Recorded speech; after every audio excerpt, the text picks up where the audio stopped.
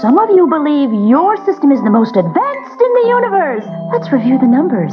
Sega Genesis is 16 bits. 3DO is 32 bits. The Atari Jaguar is 64 bits.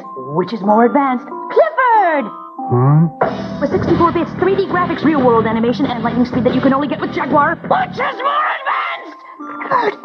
Can you repeat the question? Jaguar! Jaguar! Jaguar!